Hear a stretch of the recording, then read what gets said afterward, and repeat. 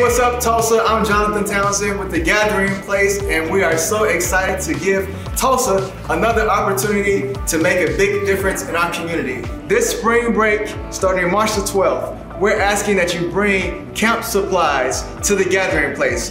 Donate them right here in the Williams Lodge, and everything that we get is going to the kids at New Hope, Oklahoma. Miss Lori is going to tell us a little bit about New Hope. Yes, Jonathan. Hello, Tulsa. I am Lori Reporters, Program Manager with New Hope, Oklahoma. We currently service kindergarten through eighth graders, and our mission and purpose is to break the incarceration cycle one child at a time. The donations that you make for camp supplies will be of great benefit to our children. Some of the items we need are art supplies, flashlight, sunscreen, butt spray, books.